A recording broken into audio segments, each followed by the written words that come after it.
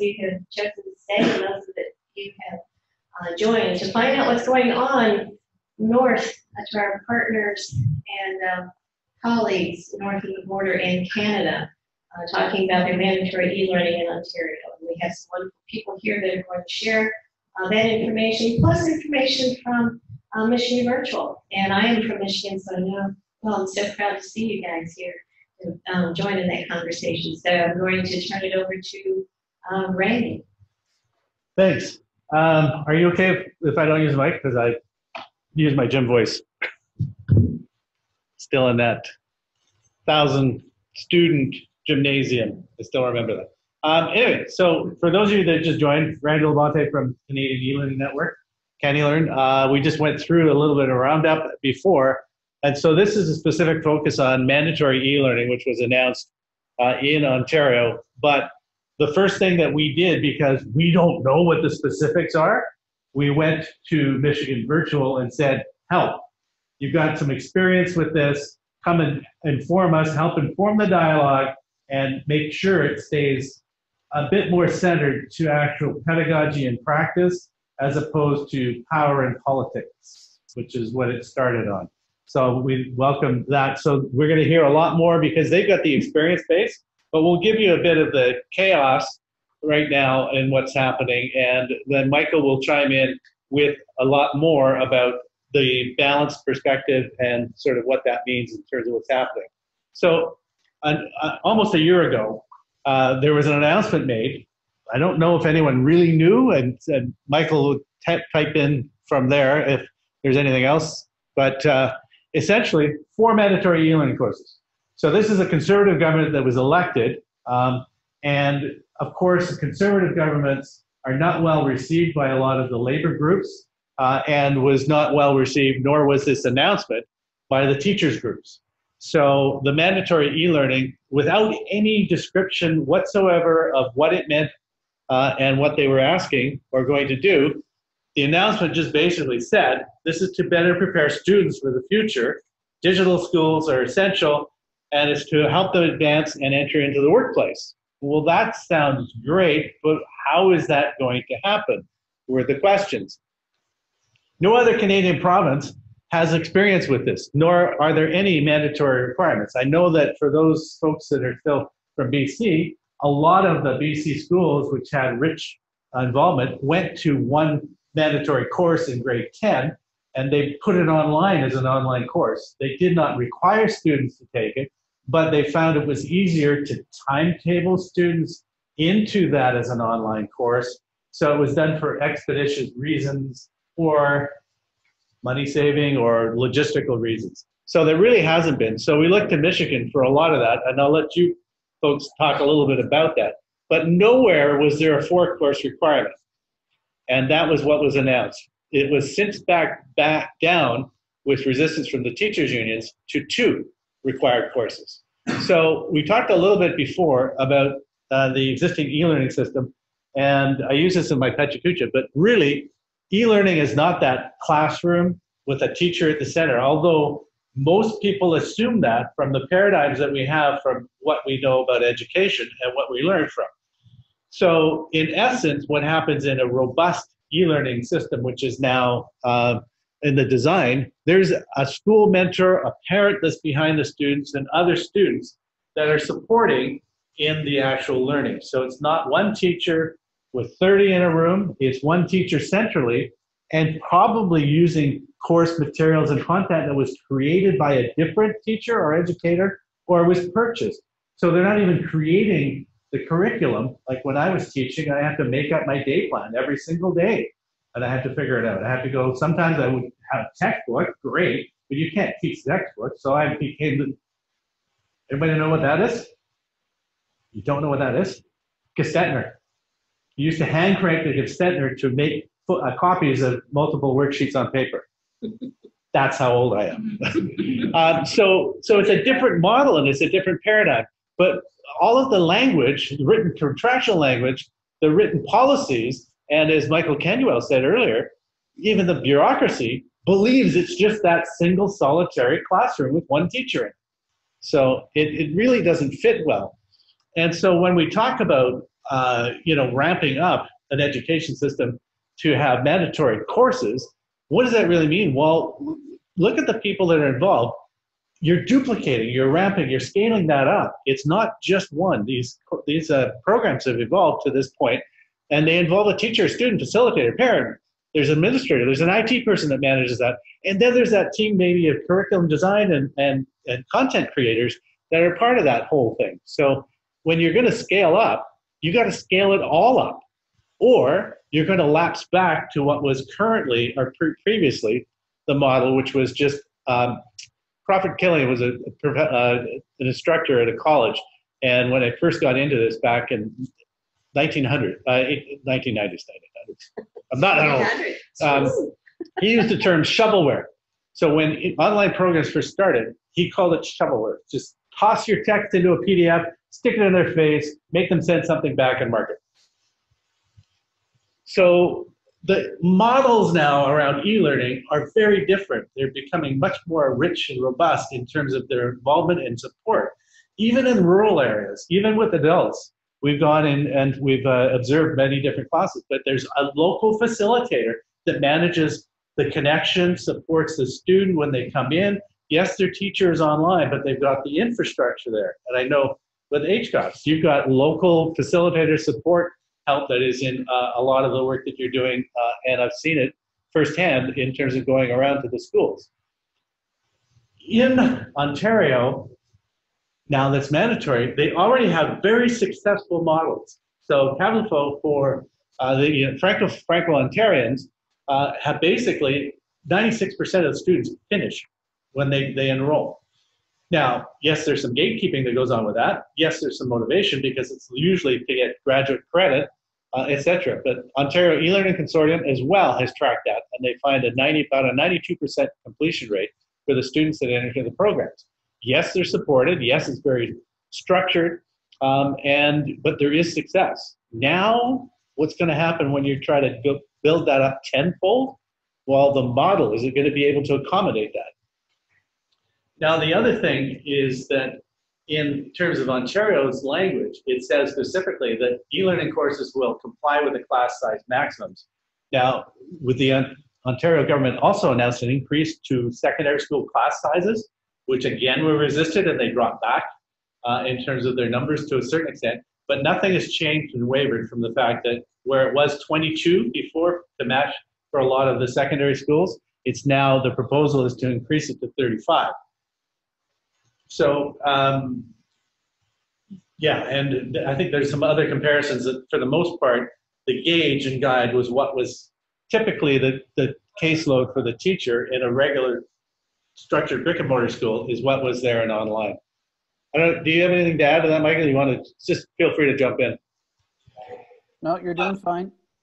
But there's a body of research that says every time that the class size of e-learning goes up, student performance goes way down.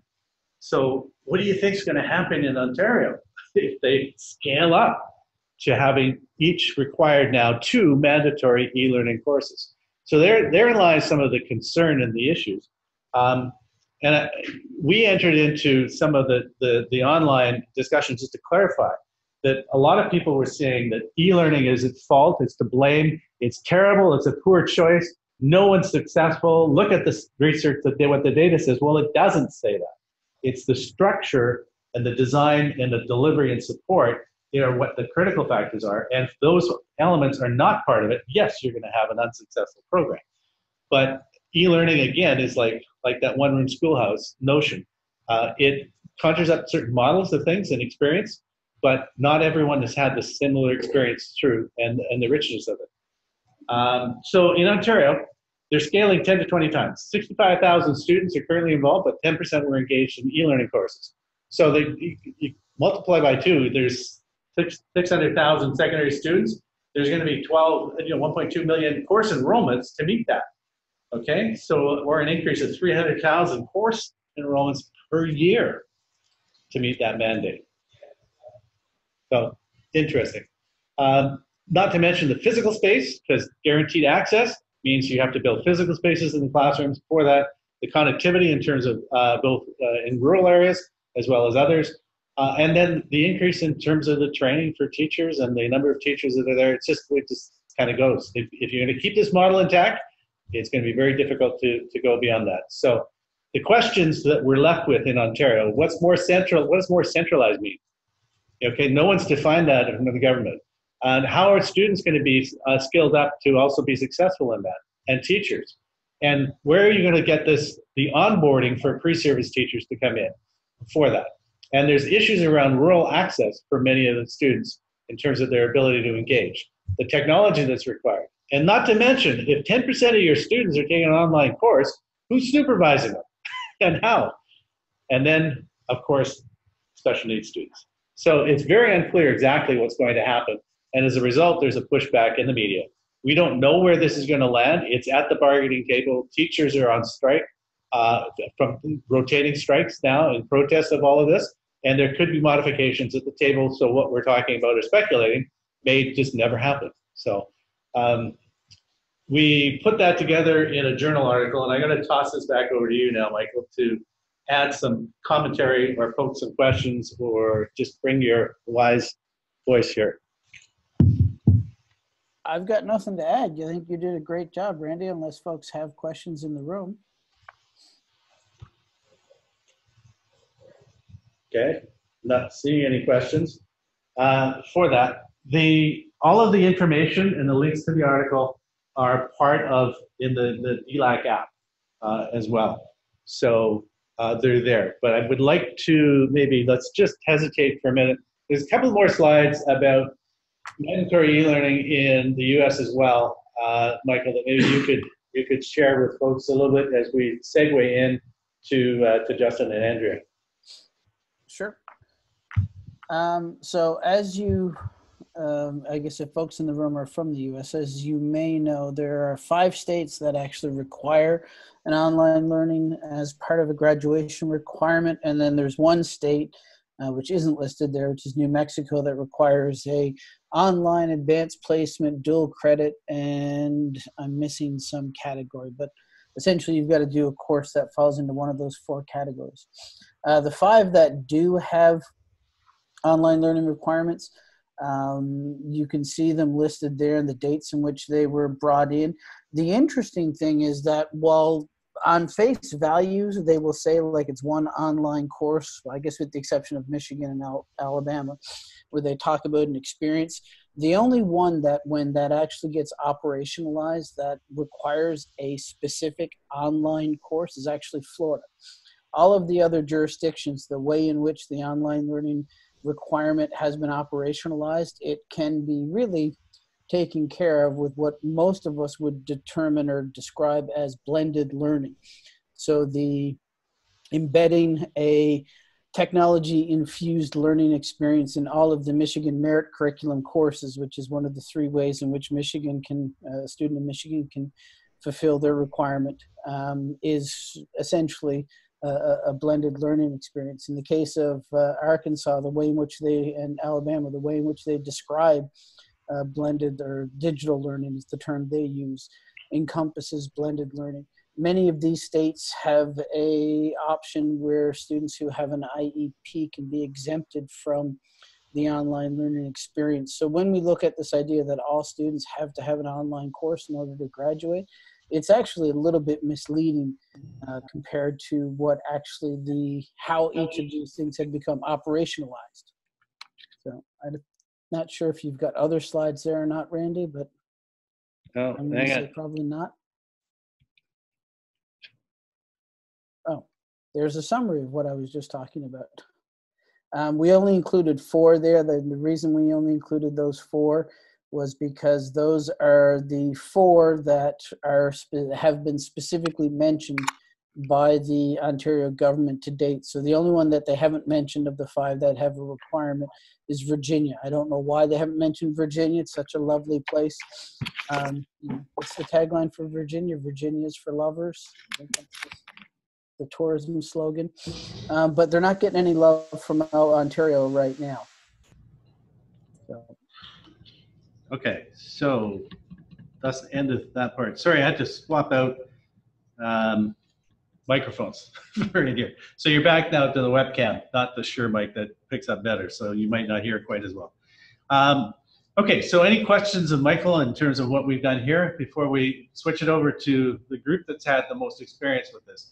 We had uh, Joe Freidhoff from Michigan Virtual come up to a leadership summit in August as well to help inform the dialogue. And Joe has also uh, done some publications and responded to media in Ontario uh, on uh, as part of that follow-up. So what we've noted is we have a much better balanced uh, conversation and dialogue going on in, uh, in, in, in the media so that it's, we were really most upset and concerned because it was mainstream teachers throwing their colleagues who were e-teachers kind of under the bus. So they were very quiet and silent in a lot of this. They weren't coming out to take an effective voice because it's politically charged. No one knows what the government's going to do. So we stepped up as CANeLearn to be a part of that um, as, as we did. So, and I'm hoping, Michael, you're still seeing the slide deck, are you? No? Okay, perfect. So let's go into, I'm just going to move some.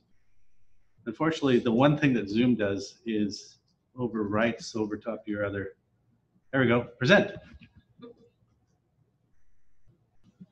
And we'll just try and put this down to the side. It went into full screen mode. You know how to take it out of full screen mode or? Uh, just hit escape. Yeah, but then it's not going to be strong enough.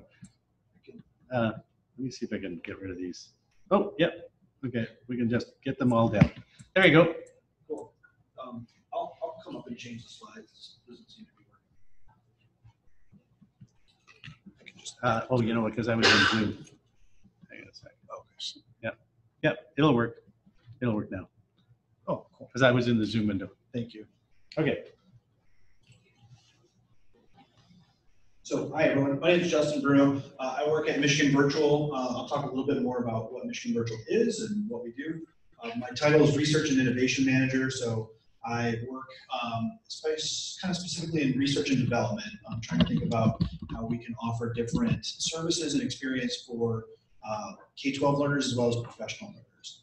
Um, and I also have worked previously in kind of like a research and policy position at Michigan Virtual. So that's a little bit of what I'll talk about in terms of how the policy landscape shaped online learning in Michigan specifically, and a lot of the research that we've been able to collect around online learning that can hopefully shape uh, the practices that happen in Canada. Hi, I'm Andrea McKay. I also work for Michigan Virtual as their Administrator of Instructional Leadership. And so what that means is that I support our teachers who teach full-time online. We have about 25 teachers who teach fully online with us. Um, and then we have about 160 teachers who teach part-time online with us. So they are most likely working in a face-to-face school or a traditional school, but um, are working with us as kind of their side gig and um, get to experience both sides of teaching in that way. Not working? Oh, Hang on. Probably went back into a Zoom window. There you go. Um, I'll talk a little bit about Michigan Virtual. We've been around for um, 21 years now. Uh, we're a state-funded nonprofit, so we do receive state funding, um, and we are also um, uh, we also receive some uh, funds through the sale of our K-12 courses, and as well as some of the services that we provide for different educational organizations that we work with. I think I mentioned this in the last session. Some of you guys were here. I think we've done around 30,000 student uh, enrollments, K-12 student enrollments last year, about 70,000 professional uh, professional learning enrollments in our professional learning portal. Um, and then we also um, just do a lot of different design work with a lot of different partners now. So um, trying to actually help them bring their own online learning experiences uh, out into the world and helping them actually provide, but through, through the provision of instructional design services. Um, I'll talk a little bit about kind of like the policy and research that we put together, and Andrea can really talk more about um, kind of like the actual experiences that students uh, have and teachers have uh, whenever they are learning online. So this is a nice infographic from a report that we do every year called our effectiveness report. Um, this is something we're required by the legislature to do as part of uh, the state funding that we receive. And um, we, I think, are probably a leader in the US in terms of like the amount and the transparency of data that we collect around online learning in terms of the state of Michigan. And so we're really fortunate to have this data set and be able to use it to kind of drive our activity on a year-to-year basis around what we do around online learning. Um, basically, when a, when a, when a, um, when a teacher is um, uploading data into the teacher-student data link system in Michigan, they have to identify the delivery method of the course that was taught or that was taken by the student. And if that course was determined to be online, they have to mark the delivery method as virtual. So we're really relying on like the input of the data by the teachers to tell us whether or not a student took that course online. So that's how we get this data. Um, last year, we knew that about 112,000 uh, courses were, students took courses uh, that were deemed to be virtual or delivered virtually. Uh, and that accounted for about 7% of Michigan public school students. That also accounted for 581,000 individual enrollments in a course, what we're calling a virtual course. Um, and we saw representation from two thirds of Michigan public school districts. Um, the breakdown of the virtual enrollments by type, you can see there. Um, Michigan Virtual actually only accounts for a small amount of the total virtual enrollments across the state, so that's something of note for us. But because we're state funded, um, we are trying to actually kind of proselytize about best practices, promising practices around online learning, so we can help bring completion rates up uh, for those who are using virtual learning and not coming to Michigan Virtual for that for those services. Um, 78% of the virtual enrollments came from grades 9 through 12. Um, we uh, know that 66% of those enrollments were from students in poverty, and that uh, the statewide virtual pass rate was 55%. Uh, the Michigan virtual pass rate was about 84%, 85%, um, but we know we're working with a, a vastly different population uh, in terms of the students that take Michigan virtual courses. There's a number of different factors that go into that. Um, but again, being state funded, we're trying to drive that 55% number um, by sharing best practices and coming in, talking about some of the work that we're doing, and you'll see that kind of reflected in the rest of the presentation. So a couple of different policies that have driven online learning in Michigan. Uh, Michael mentioned the 2006 online learning experience requirement. That's part of the Michigan Merit Curriculum. It's basically the required courses that a student has to take in high school to uh, graduate. Um, and then in 2013, we saw Section 21F of the State School Aid Act passed, which um, was a course choice law, basically allowing students to take courses online if they chose to do so. So we'll talk a little bit about both of those policies and kind of how they impacted what we're seeing across the state. So the Michigan Merit Curriculum, general breakdown of what a student needs uh, in terms of graduation requirements. You can see kind of the usual suspects in terms of subject areas there, but um, like Michael mentioned, also seeing that online learning experience. And it is um, actually, there's a rationale provided for why this is required for students, which is pretty helpful. Um, basically, implemented to give students the knowledge and skills to succeed in the 21st century and drive Michigan's economic success in the global economy. Um, the online learning experience is not, um, like Michael also mentioned, is not meant to be enrollment in a course. It can be an online learning experience broadly defined, right? Can interact with an online learning um, assessment or an online learning unit in a, in, a, in a classroom if it's a blended classroom setup. So there's a number of different things that can be used to fulfill this requirement. Um, the other thing to note is that there is no way that the state actually validates whether or not the student uh, partook in this online learning experience. Um, it's not marked on a student's transcript in any way for graduation. It's just something that kind of guides the way things goes. Yes. Um, I, prior to coming to Michigan Virtual, I was a building teacher, social studies teacher, uh, 15 years, and I was one of the teachers that our counselors would come to and say, um, after 2006, it looks like you do a lot online with your students. We would like to have you track those hours so that we can say that they are meeting that, you know, requirement for graduation. But um, yeah, very loose in terms of how that was defined. Um, I'm not sure if it keeps kids from graduating, but uh, the, the goal was there to, to start tracking those hours. So I mentioned, um, broadly defined, you can really fulfill this requirement through three different ways. You can actually take a fully online course. You can participate in quote unquote online experience, or you can actually have online components woven into um, a course that you're taking face to face at a high school.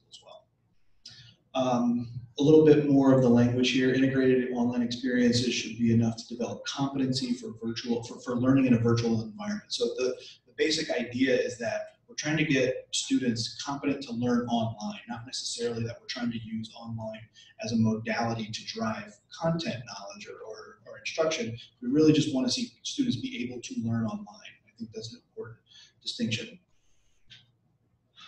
Um, I won't go too much into to the Michigan Merit Curriculum, but if anybody has questions on that, there there are a number of bills introduced in the legislature every year uh, in terms of trying to modify the Michigan Merit Curriculum. Um, people have a lot of different issues with the lack of flexibility with the MMC, but um, the online learning experience has been a constant now since 2006.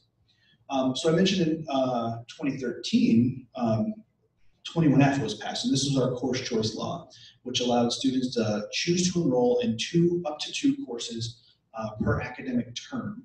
Um, and the, the policy has kind of broadened since then in terms of being able to enroll in more than two, uh, to have more of a discussion about enrollment in more than two courses. Um, the, the, the, the kind of word for, for that choice is basically um, that you, that, that a district has specific reasons they can deny enrollment, um, they can't really cap a number per se, right? They, the students can enroll in as many as they want, but if a district were to deny the enrollment uh, for that student, they'd have to provide in writing the reason for that denial. They would have to align with language that's actually spelled out in the law. So just some general definitions. There's a lot of definitions in 21F because trying to, I think, ensure a lot of quality, um, uh, quality standards and quality control in the process. Um, no, kind of, I don't know if it's really all that worth spending a ton of time in, in these definitions, but I think one of the more important pieces is the actual definition of a virtual course here. So um, that has to be capable of generating credit or a grade. It's provided an interactive learning environment. The majority of the content is delivered using the internet, and um, it has to be able to deliver instruction to students who are separated from either their, or sorry, from their instructor or teacher of record by time, location, both. So that's what we're talking about when we're talking about a virtual learning course. So I mentioned those reasons for denial. If a student is denied enrollment in one of those courses, um, it has to be documented. It has to fall under one of these areas. So um, you can deny an enrollment on the basis of um, grade level. If a student is in K, grades K through five, you can deny that enrollment, but it doesn't prevent them from enrolling if they are in grades K through um, if they've previously gained credit in that course, if the virtual course is incapable of generating academic credit, so it doesn't meet the definition of a virtual course, or if it's not consistent with the student's remaining graduation requirements or career interests. And that's probably a counselor question, right? In terms of where that student is and what they're trying to do on track for graduation. Um, the student's not completed the prerequisite coursework for the requested work for requested virtual course. So if you've not done Algebra 1 and you want to take an Algebra 2 course, does that make a ton of sense? Probably not. Students failed a previous virtual course in the same subject, or the cost of the virtual course is more than 6.67% of the district's minimum foundation allowance per pupil. So it's a little bit wonky, I won't get into that, but trying to control costs. Um, some more reasons for denial. I don't want to read the slide, but it's there for you if you want to know more about that. if a student is denied an enrollment, there's actually an appeal process. So if the student and the parent want to actually enroll, um, they can go through an appeal process and appeal that to the intermediate school district, which uh, has constituent districts underneath it. And so that process can kind of be borne out that way. And um, any kind of denial has to be submitted in writing, so everything's on record for folks as well.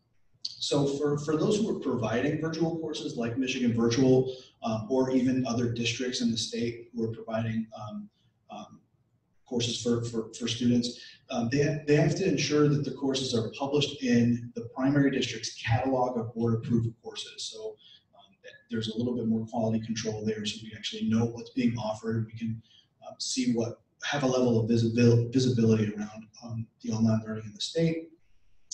Um, we have to assign it to each student a teacher of record and provide the teacher's personal ID code, so that's for evaluation purposes.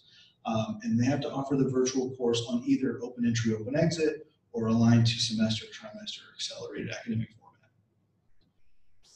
You also have to provide a syllabus if you're providing a course under 21F. So um, we actually have very specific elements of the syllabus that have to be um, identified. So you can, so we again know what sort of content is being provided to that student um, and what standards that it's aligned to. Um, and that, and uh, districts or anyone who's providing a course has to provide up to the state an aggregated count of the enrollments and the number of enrollments in which a student earns sixty percent or more, basically, how many students pass those courses that were offered.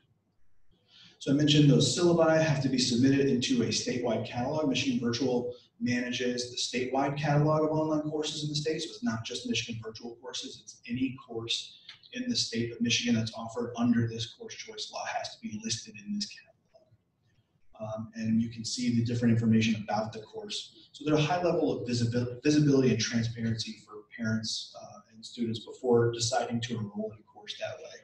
Um, and the goal is to kind of get them as much information upfront as possible before making that decision to enroll. Um, another, some other elements that are required, expectations for actual contact time between an instructor and a student, and the academic supports that are available, and the learning outcomes or objectives the name of the institution, organization providing the content. So um, let's say you're a school district, but you purchase content or you purchase courses from a vendor. You have every right to do that, but you have to identify who the vendor is that you're purchasing that content from. And so if districts or parents have preferences for different vendors, uh, they can actually see where that content, where that instruction is coming from.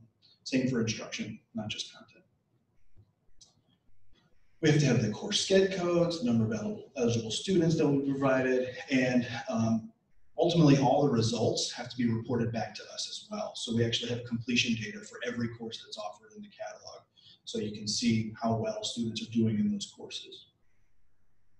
Um, the courses have to be taught by a teacher of record, so we have to have a valid Michigan teacher certificate, if applicable, um, endorsed in the specific subject area for which they're teaching, um, and providing responsible, uh, and they're responsible for providing instruction, determining instructional methods.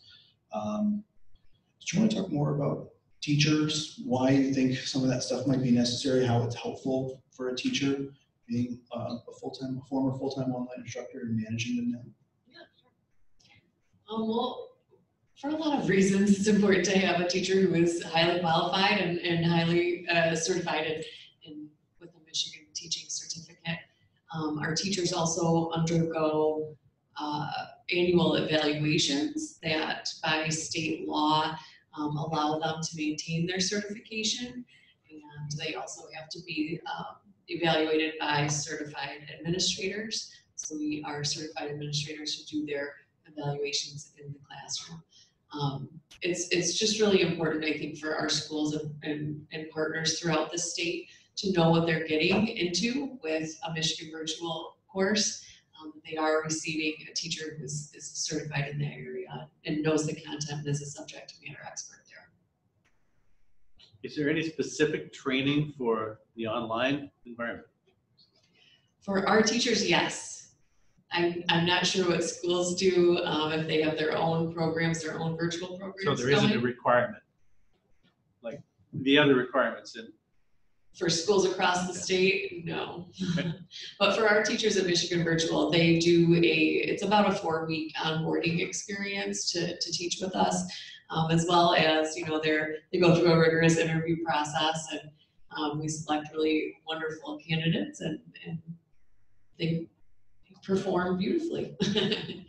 If I can respond to the others, um, I believe in Michigan, there's an organization, and Jamie, correct me if I'm wrong, um, the REMC Association many years ago in Michigan purchased content um, through a grant to train teachers um, in the schools in terms of getting preparation. And I believe that training is continued through the REMC Association to train teachers that are at the local schools. And I believe that content is still being used and managed through the REMC Association.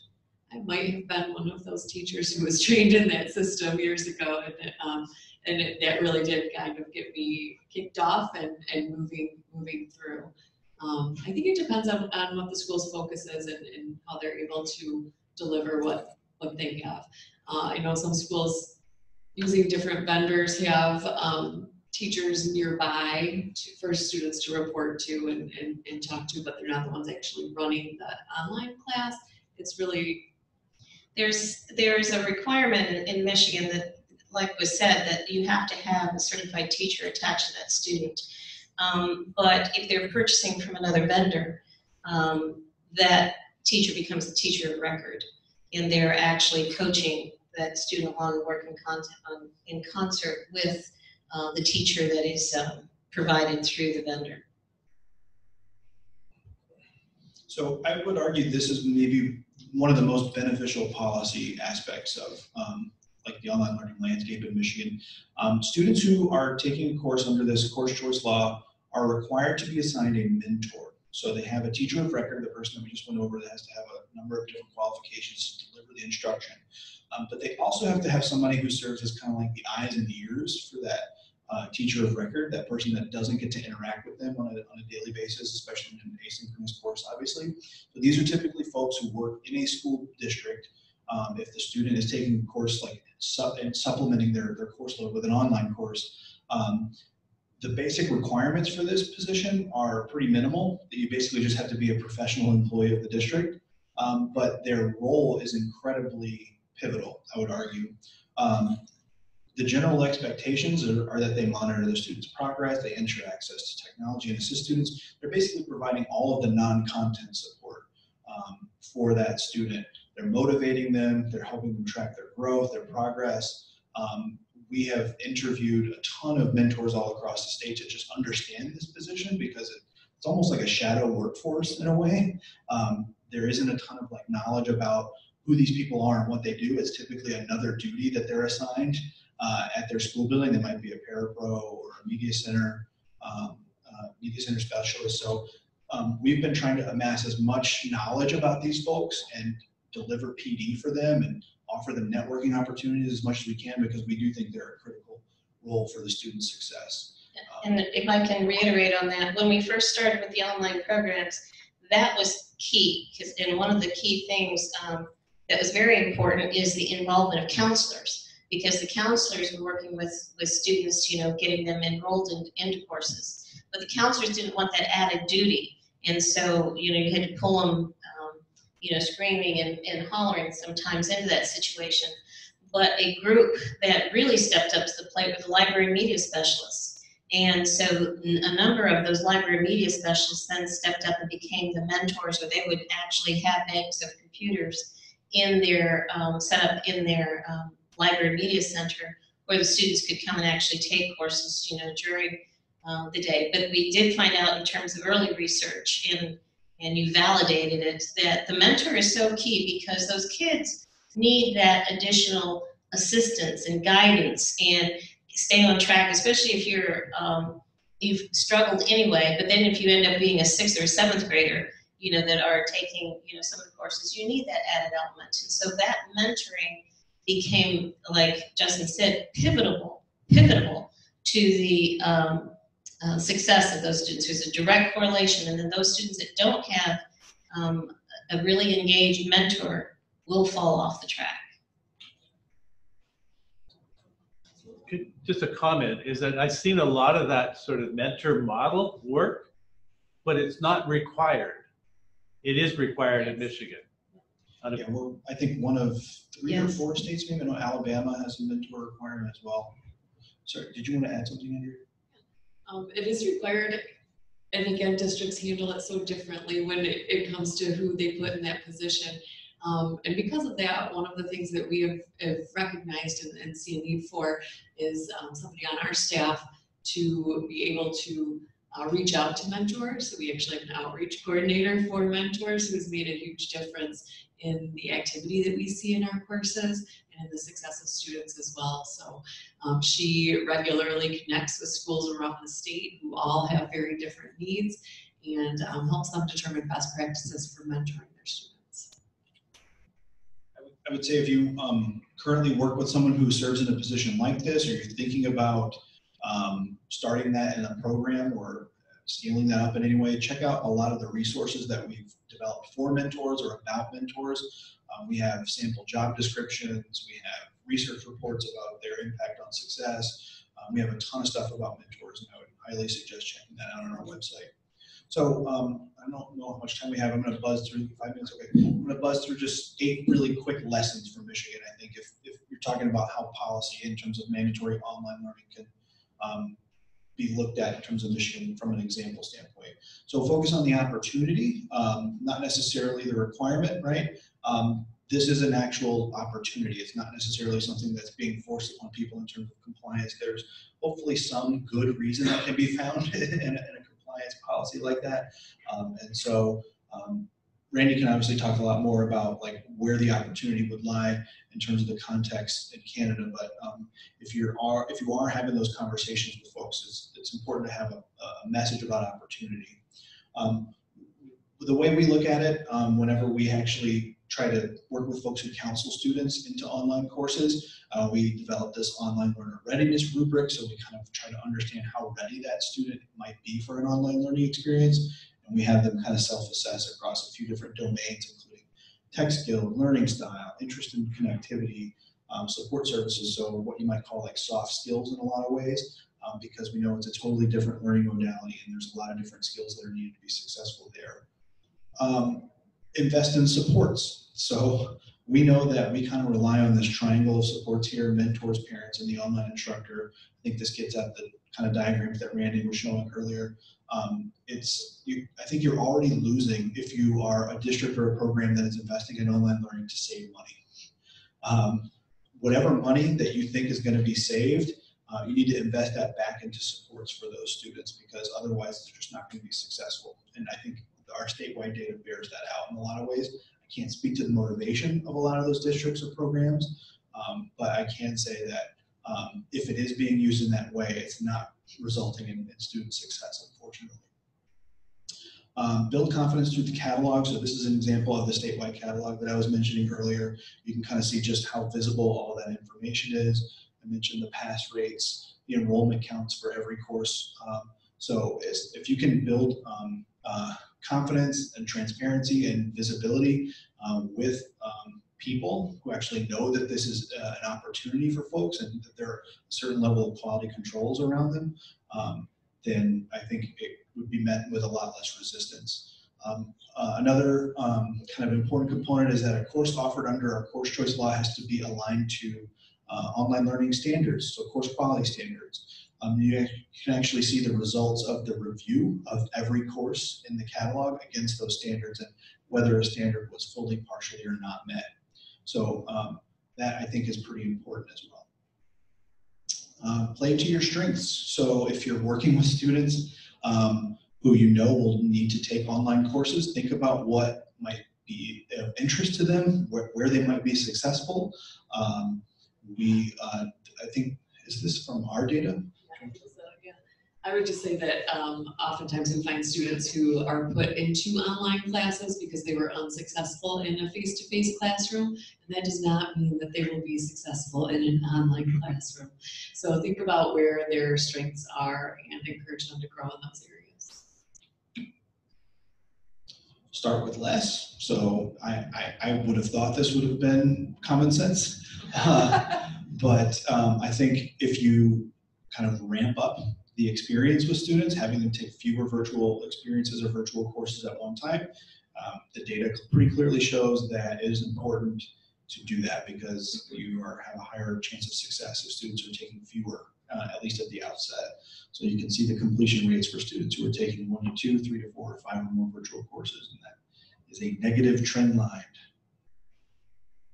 Um, monitor effectiveness. So we're really fortunate that we get state funding to produce this report. I highly encourage folks check this out. And if you're able, if you have access to big data sets um, or even small data sets, if you're talking about a smaller entity than a state, to be able to try to compile something like this, you can tell a compelling story about what's happening uh, with online learning. Spread best practices. So um, Michigan Virtual also produces a ton of different resources. Like I mentioned, we have um, we have guides to online learning for every persona you can think of. Um, a student guide, a parent guide, a mentor guide, a teacher guide, an administrator guide, and a school board guide. So everybody who's involved in terms of the online learning decisions uh, around an online learning program, we have kind of provided some a compilation of promising practices and kind of understanding what online learning would mean to that persona. So we're highly checking all those out, totally free and available online. Um, this is our 21F toolkit for districts who actually want to implement uh, a course choice program in their own district. So we provide that at no cost as well. Um, and then just make sure that you're monitoring the effectiveness. So you can update the policies. If you have any kind of leverage with uh, policymakers where you are, you can provide uh, hopefully a compelling story to them and let them know um, how things are going and whether or not they can change policies as they go. 21F has actually been updated four times since its passage in 2013. So I think that's pretty encouraging because we're able to have a, an ongoing dialogue with the legislature about how successful or unsuccessful it might be in some areas. Um, that's it. Does anybody have any questions?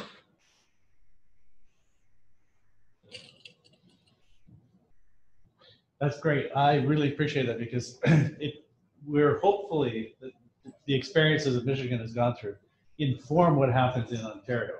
We're not certain as yet whether anyone's listening uh, necessarily, uh, but certainly that has, has certainly helped. But the, the, the requirement for mentorship, the openness in terms of being there, but also the policy and legislation that's, that's supporting that.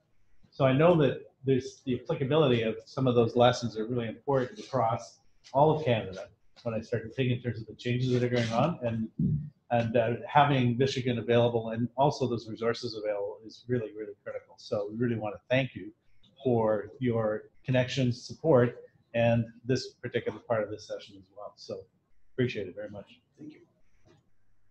Are there any general questions from the group? It is four o'clock almost, and it is the reception at four thirty and after a long, busy day. Thank you for your audience. Thanks for being here. Thanks very much. That's great. No, thank you. Justin. That was awesome. Of course. And Michael, uh, Michael, are you still there? It was nice meeting you too. Yes, I am. Yeah. Any, any, Deja vu, oh my Yeah. God. thanks, From in Michigan. Hi. thanks for sticking it out. Anything you want to say? Yeah. No, I'm good. Jamie and I break one. Okay. Appreciate you being there. Thanks very much. And uh, Not a problem. We'll debrief after. I ran again. Yeah, sorry, that online for the seat time waiver and all the, Oh my God. the bleeding that went on early on. We're still a long way to go.